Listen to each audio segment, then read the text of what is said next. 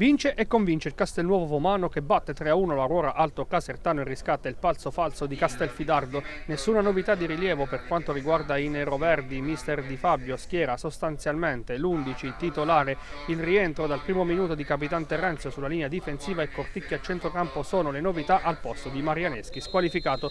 Modulo speculare per i campani, dal primo minuto spazio per l'ex Chieti Franchi, mentre si accomoda in panchina l'ultimo arrivato Fioretti. Sotto gli occhi del direttore di gara Recchia di Brindisi la prima occasione, pronti via e per gli ospiti. Nasce tutto da un errore in fase di impostazione del Castelnuovo, ma sia Lopez che Percuoco sbattono contro il muro eretto dalla difesa di casa. Alla prima occasione però il Castelnuovo sblocca la gara Calcio di punizione dalla tre quarti calciata alla perfezione da Corticchia, dalle retrovie sbuca pulsoniche di testa, indirizza la sfera nell'angolino, gioia per il classe 2001 al primo gol in stagione. Il Castelnuovo vorrebbe mettere subito la sfida in discesa con De Gidio, ma da due passi l'esterno d'attacco si vede respingere il tiro con un intervento miracoloso di Kuzmanovic, ma al ventunesimo il portiere ex matese deve arrendersi per la seconda volta.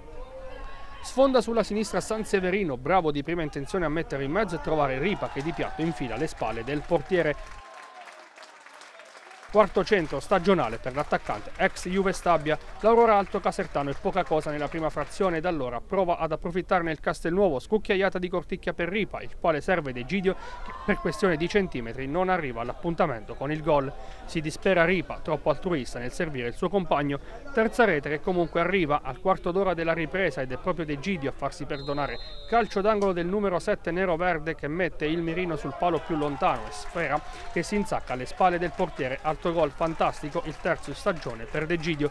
La partita scivola via senza troppi sussolti fino alla mezz'ora quando l'Aurora Alto Casertano accolcia le distanze direttamente da calcio di punizione. Mancino dalla destra decide di andare direttamente in porta ed è la scelta vincente perché la sfera attraversa una selva di gambe con Grace in ritardo e la palla che sorpassa la linea bianca. Il Castelnuovo si abbassa troppo e permette agli ospiti di crederci fino alla fine come al quarantesimo quando dall'ennesimo tiro dalla bandierina Valle Fuoco svetta più in alto di tutti ma il colpo di testa è di poco alto. Sulla trasversale scampato il pericolo il Castelnuovo riesce ad amministrare bene il doppio vantaggio e al triplice fischio finale. Gioia in casa, nero-verde che centra la terza vittoria di stagione e sale al terzo posto in classifica, quota 10 punti.